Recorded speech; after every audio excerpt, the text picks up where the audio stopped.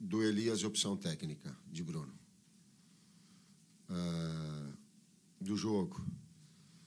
Buscava na equipe que ela tivesse a consistência que em relação aos outros jogos que teve nesse nessa nesse ajuste, nessa montagem, nessa estruturação que a, que a equipe vai nessas variáveis que ela vai tendo em termos táticos que vocês me perguntaram que eu já coloquei de Jadson para dentro de dois de velocidade ou de um de velocidade conjuntamente com o pivô é, essa busca desse desse desse ajustar a equipe né? ela teve e manteve a, a posse de bola o Fluminense procurando contra-ataque mesmo jogando em casa e eu coloquei a eles que nós tivéssemos essa condição mas ainda no último terço do gramado a a, a, efetividade maior, a confiança maior, a infiltração maior, a finalização ela, ela careceu. Presidente, a gente vai, vai se reunir essa semana e talvez a gente possa esclarecer no, no transcurso dela. Não sei, a resposta terceira não sei. A segunda é que no futebol brasileiro, a cada seis meses, há essa, essas, esses ajustes, essas modificações, é inevitável. Porque pelo poder aquisitivo dos clubes, pela, pela necessidade que ela tem, enfim. É, é assim. Não só a Corinthians, mas todas, todas as outras equipes, elas, elas passam. Ou mais ou menos, dependendo da circunstância. Construção, nós estamos num momento de construção da equipe. O como ela se construir, o como ela crescer, ela vai se mostrar num campeonato que ele é de regularidade. Vai depender muito dessa construção. Pergunta porque as, as pessoas às vezes elas, elas acham que o técnico ele tem superpoderes. E é bom para o torcedor compreender que existe uma hierarquia. E que vocês também, como agentes formadores de opinião, têm que passar para o torcedor como é que é essa hierarquia. Senão parece que o técnico ele, ele, ele se adona de uma situação e define situações que elas não são da hierarquia dele. Então, onde, onde eu trabalho, eu me coloco no seguinte escalão. Vou falar, acima de mim existe um executivo de futebol. E eu vou dar a minha, a minha, a minha observação, a minha avaliação técnica. E se o atleta é do nível A, B ou C. Existem os diretores de futebol, que são as, as figuras representativas do clube, e existe o presidente. O que for melhor para o Corinthians, o técnico se ajusta a isso.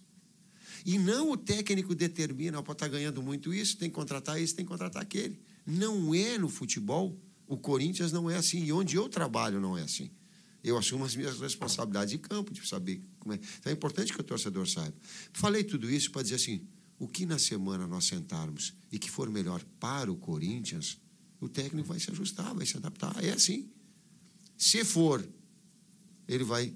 É, é, ó, nós vamos. É, definir o ciclo, o último jogo, não é o último jogo, vai ter a última reunião para decidir. Tem um outro dando, nós vamos conversar ainda, não vai, tá? Bom, a partir do momento que a direção, juntamente comigo, e tem o parecer técnico da coisa, ajustar, nós vamos passar para vocês como aconteceu nessas situações. É. A disponibilidade do atleta, não. A disponibilização do atleta, não. Mas a escalação é. A pergunta é: quando passou 20. Eu só estou trazendo argumentos para. A pergunta é: quando, quando do grande futebol que apresentou, do crescimento que teve, das 20 e tantas partidas invictas, também estava na situação igual. É, isso que, é esse parâmetro que, que, que eu estabeleço. Era um momento agora de construção da equipe, foi no momento anterior que nós estávamos com que nós tivemos maus resultados e foi no momento anterior que foi registrado de forma justa o grande momento da equipe no Campeonato Paulista e na Libertadores. Então, ela, ela, ela, ela fez parte desse, desse conjunto todo da obra, tanto no momento bom quanto ruim. Vocês estão rindo, né? Eu vim aqui para falar de futebol, cara, do jogo que aconteceu, que o momento que estou falando é de futebol. É, de uma retomada, do, não retomada não, é um termo que eu tenho usado bastante, não quero. Da construção da equipe nesse novo momento, de encontrar dessas soluções táticas que vocês têm me perguntado com, com, com justiça. Tite, o que, que vai fazer? Né? Não vai ficar amarrado no 4-1, 4-1. Traz o que, que é o 4-3-3 que nós vencemos. Aí não tinha o Malco que foi para a seleção, não tinha os dois de velocidade que eu utilizei antes, pra, pra, tanto no jogo contra a Chapecoense quanto no jogo contra o Cruzeiro. Dois de velocidade do lado. O que, que vai fazer? É, não tenho colocado o Emerson porque coloquei ele, por não é, na construção da equipe, eu não vou iniciar contigo, mas não vou abrir mão de te ter, porque se é a necessidade do jogo, como aconteceu hoje, ela, ela te requer, não tenho o que tu vai fazer o quê? Tu vai abrir mão do potencial da, da, da equipe, o jogador que tem contrato? Né? Então, eu desviei tudo, porque dizia assim, eu não, eu não dá para mim falar sobre assuntos que é porque é administrativo. É difícil para mim. Opa, Tito. De novo vai cair naquela na montagem da equipe, na, na, nesse novo ciclo que ela, que ela busca, que ela, que ela quer, que ela vai procurar se, se ajustar e vai depender da minha competência de todas as das outras para que ela cresça. Eu digo que eu não. Primeiro que eu, eu vou lembrar um pouquinho da minha história, que eu comecei a jogar futebol com 17 anos. Com 20 eu era capitão da equipe mesmo que seja uma equipe que ela não tenha tanta expressão assim como o Caxias, mas um último campeão gaúcho, ele é significativo. Então eu, eu não tenho nenhuma, nenhuma restrição a garotas jovens. Eu lancei o Ramon no Atlético Mineiro, ele tinha 16 anos, nem 17, tinha 16. Né? E outros tantos. Então, idade e momento é só encontrar, daqui a pouco eu ter a sensibilidade, o feeling, a, a competência de não pegar e jogar ele para dentro, mas entender que o momento que a equipe está numa, numa, situação de confiança para colocar um, um garoto para jogar assim, porque o peso e a responsabilidade ele é muito grande. Então não tenho, não tenho problema nenhum em relação a isso.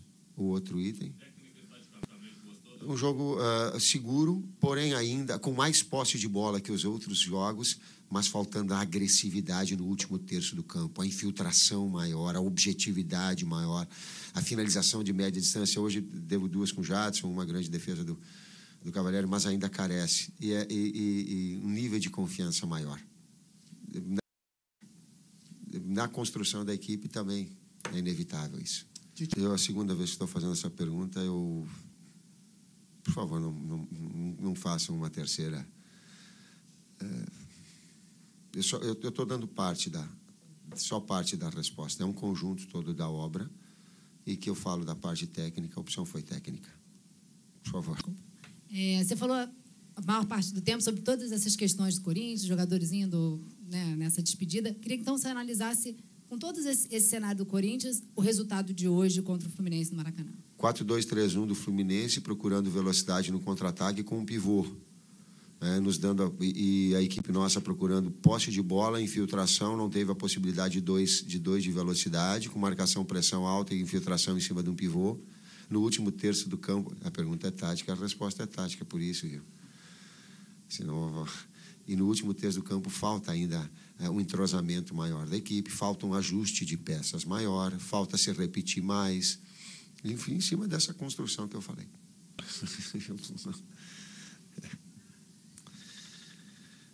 Tem uma coisa que eu não faço em futebol. Eu não faço. Me envolver com dinheiro e me envolver com a vontade das pessoas, a não ser aconselhá-las quando elas se abrem. O conselho que eu dei para Cassini, para Paulinho, para Leandro Castanha, digo, busquem profissionalmente um local onde vocês são bem quistos e tenham condição de crescer profissionalmente, porque depois o dinheiro vem na sequência. Não é uma coisa que eu, que eu entendo ser... Toda, toda vez que o cara buscar o produto final, o dinheiro, tem alguma coisa errada. Né? O prazer, o ambiente, o crescer, ele vai, ele vem antes. Depois, eu não sou ingênuo, não sou babaca, não. Não sou puritano, não penso que eu sou, não. É uma questão de. de oi? É, é, não sou, não sou, não. Pô, não sei. Mas entendo isso como, como, como vida, como a gente, a gente fazer o nosso melhor. Essa é a mesma coisa para ele também. Disso, Tite. tu me, tu me botou numa saia justa, tu me apertou de novo em relação a Elias, né? Eu disse que não é. É uma parte da resposta, né? Você sabe que é uma parte da resposta e, e que existem outras situações. Eu não gosto de dizer, mas eu não gosto de mentir. Sempre tive uma relação com vocês muito, muito sincera, independente, de colocar a verdade e não ficar. Então, a parte da resposta do Elias ela é técnica. Pronto. A outra parte, na sequência, vocês vão o que mais? A outra. Sim, a opção ela é assim, sim. O técnico trabalha para o clube e respeita os atletas.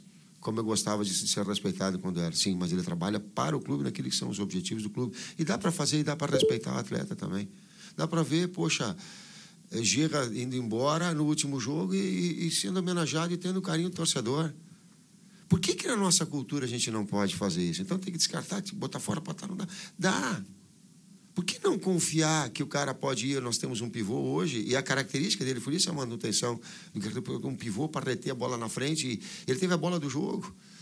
Eu estava fora, daqui a pouco, se tivesse um pouquinho de sintonia. Quando ela picou, eu falei, gritei, domina! Eu, sozinho, assim, no instinto de atleta, de ex-atleta, para dominar, porque quando ela subiu, daí a, a, a vontade de, de, de chapar para dentro, né? Então, dá para a gente fazer. Independente de toda, pô, de toda a carga, da responsabilidade, do, do futebol que tem, dá para a gente ter respeito a, a, a, dois atletas que foram, ou que são ícones dentro, que tão, fazem parte de uma história toda. Dá para ajustar, dá para falar, dá pra direcionar, dá para ter bom senso. Mas a prioridade, sim. A prioridade é para o atleta do clube e a gente tenta fazer essas duas coisas. Obrigado.